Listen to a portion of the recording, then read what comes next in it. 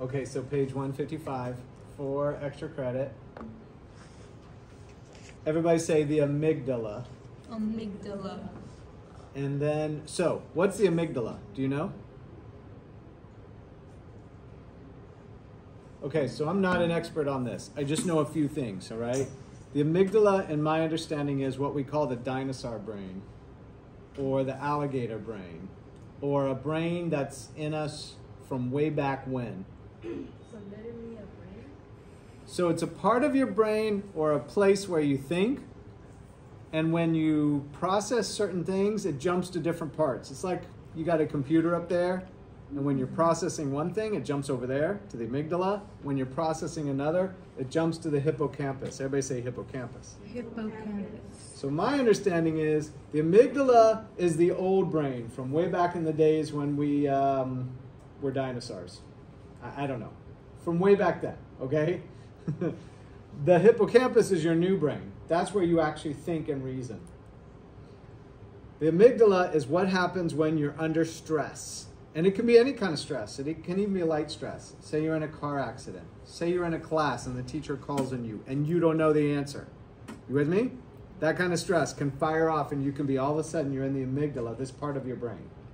Okay, this part of your brain only does three things well. They're the three F's. What are they? Freeze, fight, or fight. Freeze, fight, or flight. Okay, how many of you have experienced this in your life? Something happens, you're stressed out. Natalie, do you remember a particular situation? What did you do in that situation? I froze. You froze. Literally, you can't speak, you can't react, etc., right? How long did it take you to come out of your frozenness?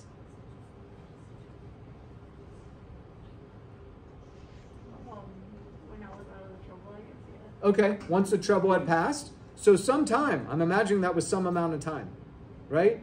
Even if it's a car wreck, right? We're in a car accident, which can be very traumatic, right? And can trigger all kinds of things for us as humans. You jump into this part, right? You may freeze. You don't react well. For some of us, that's the way we go. Okay, who's been in another one where you fight? Anybody remember a situation where you were under stress and you fight?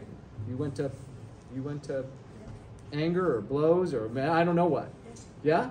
Okay, you remember one? What was what? Uh, how long did it last? And do you feel like you were in control when that happened?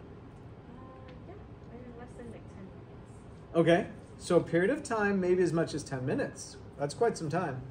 Did you yell or scream or what'd you do? No, You went. You went for blows. Interesting. Okay. Do you feel like you could control that? I asked that already. You do? Because the idea of this brain is you go there whether you like it or not. It's an automatic sort of sort of thing for us. We're trying to survive. We're going for survival at that point. Is what this brain's about. Okay, how about flight? Any ever run away? You remember one, Marisol?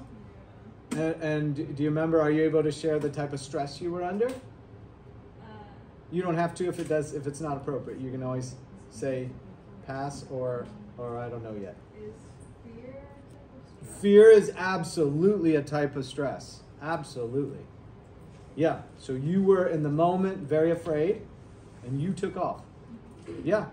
Okay, so that's this brain. When we're in this brain, apparently, in most cases, not all, because you, you answer differently, apparently you're not able to be reasoned with. You ever been in a classroom with students and the teacher and the student and somebody's triggered and the student literally seems like they're not functioning? Maybe the teacher too. Does this sound familiar? And maybe you know yourself where you're like, in this state, I'm not really functioning. So what's happening? You're not thinking. The hippocampus is the part of the brain where now you're rational. So sometimes I've heard this called flooded, right? We'll be flooded with emotions or whatever's happening, like fear. You're flooded with fear, and your system immediately goes to this emergency mode. In that mode, we're not rational. We're not thinking in general. In general, okay, is the is the idea. It has to. We have to deflood and come back out to this part of the brain, the hippocampus, where now we can reason again. So we've all experienced this. Um, you're kind of thinking about what you can learn about yourself and others, and you're kind of looking for this situation. If you're with your friends or family and something happens, you're looking for, oh, are they in the are they in the dinosaur brain or are they actually thinking right now? Right? Okay, so here's the assignment for page 155 for extra credit. Write about a time that you were threatened and your reaction to the threat. Did you freeze, fight, or take flight?